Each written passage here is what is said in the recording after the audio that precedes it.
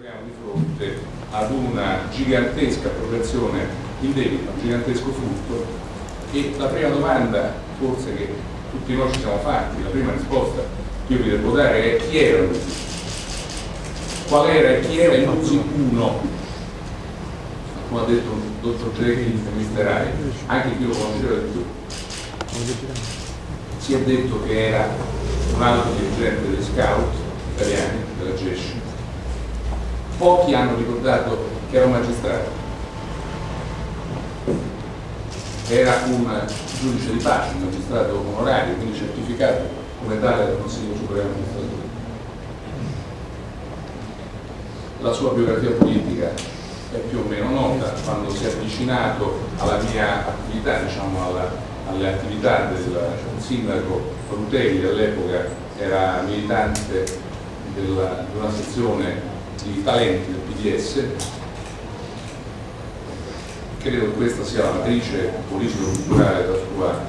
della sua cifra, insomma, della sua precedente famiglia. Uomo che si è manifestato sempre arcigno, severo, antipatico, per conquistare una fiducia che è diventata una fiducia assoluta e agli occhi di tutti meritata. Mai un debito, ricordava il tesoriere, mai un centesimo, mai un euro di debito, ma Margherita vorrà finire la sua vita in attivo. Mi dimetto, se voi dubitate della sua capacità, quante volte l'ha detto nelle riunioni di partito? Chi vuole che io me ne vada è perché vuole spendere facile, quante volte l'ha detto? L'arcigno tesoriere dunque si è costruito su questo pedigree che tutto sommato è stato abbastanza, insomma, abbastanza sviscerato, analizzato, si è costruito eh, la capacità per gestire con la fiducia, direi generale, pressoché generale, eh, di tutto il partito eh, le risorse. Con un meccanismo formale che, scusatemi mi sembra pedagogico, ma devo essere almeno la fase iniziale, poi affrontiamo tutti gli argomenti eh, nel merito analiticamente di cui vorrete. Com'è possibile che nessuno si sia accorto di furti tanto grandi, tanto sfrontati? Diciamo, eh, a un certo punto, quando si è eh, vista l'ordine di grandezza dei suoi furti, delle sue appropriazioni indebite, inizialmente accertate dalla finanza e dalla procura della Repubblica di Roma 12,9 milioni di euro la gente ha detto accidenti la Margherita ci aveva in cassa 20 milioni non si è accorta che gliene fregavano 13 in verità poi ci siamo accorti che dalle prime analisi erano 600 mila in più 13,5 le analisi interne fatte dagli stessi editori della Margherita che hanno capito il meccanismo attraverso cui erano stati ingannati. E poi gli ulteriori accertamenti che ha fatto la magistratura perché ha ottenuto da noi tutte le carte, tutte, tutti gli estratti tutti i bonifici, l'intero libro, giornale come si chiama, con tutte le entrate e uscite del partito, nessun partito politico nella storia della Repubblica Italiana ha consegnato agli uffici giudiziari tutta la propria documentazione contabile ricorderete che la Lega arrivò sino alla Corte Costituzionale per impedire che vinse che alcuni documenti contenuti nella sede di Via Belleghe potessero essere acquisiti dall'inquirente. Dopo 24 ore che la Margherita è stata chiesta di, avere, di dare informazioni per collaborare con gli inquirenti, tutto e ciò di cui stiamo per parlare, ciò di cui voi mi chiederete, tutto è in possesso dei PM dalle 12 ore diciamo così, successive a quando ce l'hanno richiesto. Mi sono recato alla eh, Procura di Roma, ho incontrato il procuratore capo, cioè funzionario per cavallo e un eh, molto positivo incontro con il dottor Caterna che insieme al dottor Pesci conduce le indagini, ho consegnato un esposto, denuncia estremamente articolato volto a documentare come questa attività criminale che è stata fatta segretamente, con una dissimulazione formidabile da parte dell'USI, stia continuando oggi con il tentativo di intimidazione, con il tentativo di minaccia, con il tentativo di creare un inquinamento e un depistaggio che già i magistrati hanno identificato con chiarezza, poiché nell'ordinanza per il sequestro, secondo sequestro dei beni dell'USI hanno proprio individuato questa, questa dinamica del tentativo di confondere le acque, del tentativo di spaventare gli interlocutori. E ora vedremo chi e perché e come e se mai dovrebbe avere motivo di essere spaventato che completa la strategia criminale, la attualizza dell'uso, ovvero prima si costruisce quell'immagine, poi realizza un meccanismo apparentemente molto efficiente per distrarre, parliamo di decine di milioni di euro, perché saranno sicuramente più di 20, e poi tenta di inquinare un'indagine che sta andando dritta allo scopo e dal primo giorno ha identificato la responsabilità lasciando intendere quello che poi è stato riassunto da alcuni titoli di giornale, ma se io ho preso 20 milioni di euro dove sono andati gli altri 180? E adesso, e anche questo sono qui oggi per cercare di rispondere. Il bilancio consolidato della Margherita va a 320 milioni di euro circa, al quale vanno aggiunti, ovviamente non possiamo farlo, gruppi regionali che sono importanti, il gruppo parlamentare europeo e tutte le realtà delle, dei, dei, gruppi consigliari in giro per l'Italia. Certamente anche questo fa varie decine di milioni di euro. Quindi se posso dare un quadro eh, complessivo, io direi che complesso del movimento economico determinato in questi dieci anni Donna Margherita è diciamo, tra i 300 e i 350 milioni di euro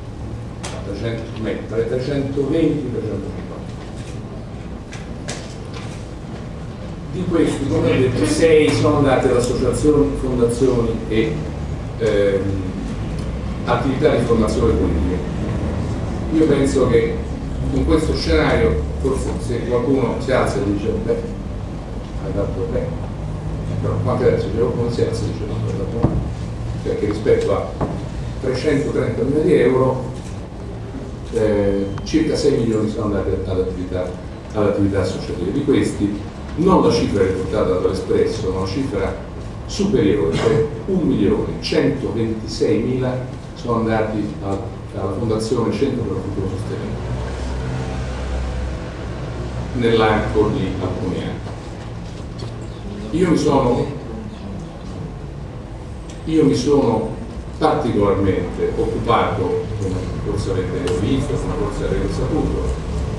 presso il tesoriere anche di altre due importanti iniziative che credo siano altrettanto meritorie,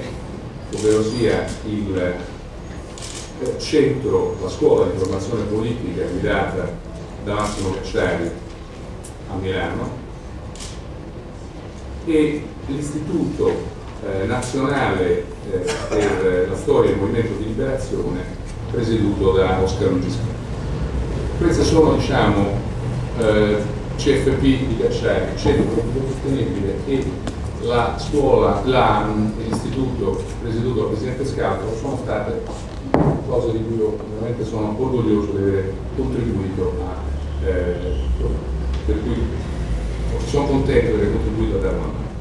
il centro per un futuro sostenibile. Come sapete è un centro bipartisan, anzi tripartisan.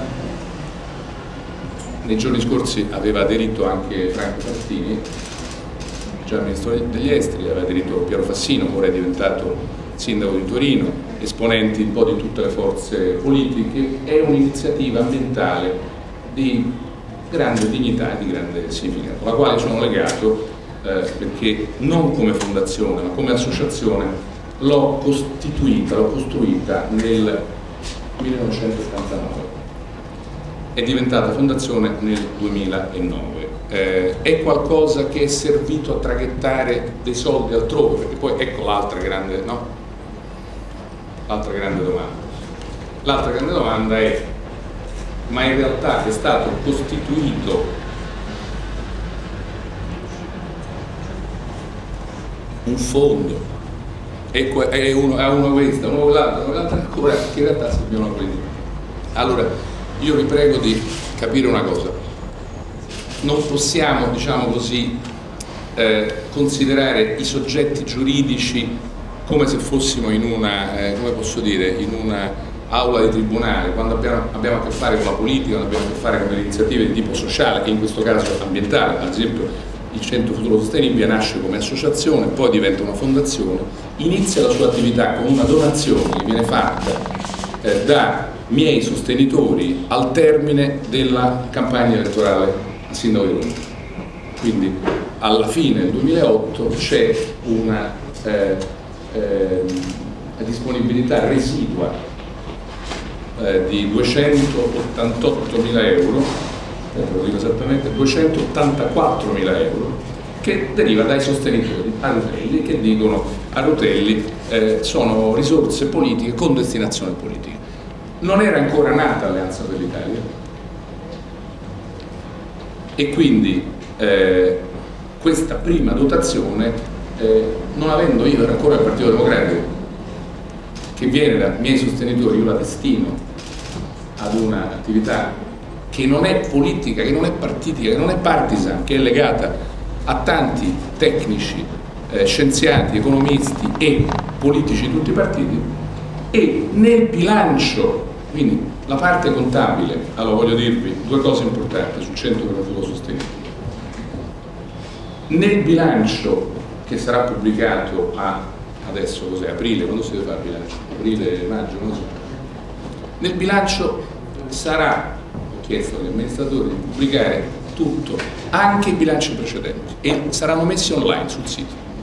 Così sarà chiaro quello che è entrato, dove è andato, eccetera. La parte che riguarda API è una parte soltanto, come posso dirvi, eh, diciamo di contabile. La problematica di API che qualcuno ha riscontrato, eh, c'erano 150. Il saldo che risulterà nel bilancio è che la verità assoluta di ciò che è entrato per quella destinazione politica che vi ho detto, no? che è stata inizialmente e poi via via eh, è andata ad Alleanza per l'Italia, pari a, 280, a 284 mila euro, tutti questi denari risultano nel bilancio di Alleanza per l'Italia. Non hanno nulla a che fare con il centro produzione, nulla sarà pubblicato il bilancio, potrete vedere fino all'ultima lira, io già ce l'ho per la verità, però è giusto che venga, anzi per la verità sono entrati al fondo di dotazione 284 mila e quello che è stato poi eh, invece attribuito alla mia attività politica come i sostenitori di Rutelli volevano, chiaro?